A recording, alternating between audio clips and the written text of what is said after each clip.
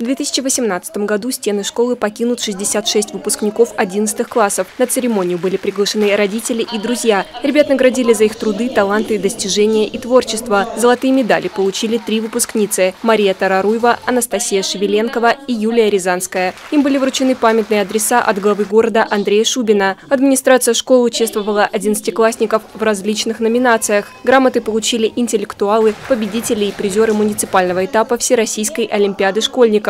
Юные спортсмены, 8 выпускников, удостоены значков ГТО. Похвальные грамоты школы вручены и тем ребятам, которые на протяжении всех школьных лет проявляли свои таланты в различных конкурсах, состязаниях и олимпиадах. Много теплых слов в адрес выпускников и их родителей оставила директор четвертой школы Ольга Антошина. Вот и остались позади школьные годы. Незабываемые дни детства, ранней юности.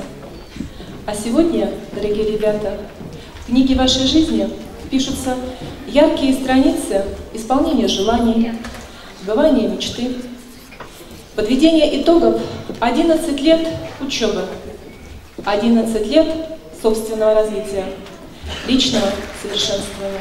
Благодарственные письма школы получили родители за хорошее воспитание детей и неравнодушное отношение к школе. Теперь выпускникам предстоит дождаться всех результатов по экзаменам и продолжить обучение для того, чтобы получить профессию.